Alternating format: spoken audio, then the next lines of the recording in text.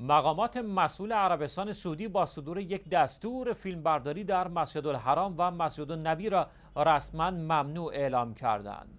به گفته پایگاه خبری العرب الیوم مقامات عربستان احترام به شعائر دینی و احترام به احساسات عمر گذاران و حجاج را دلیل تصمیم خود اعلام کردند.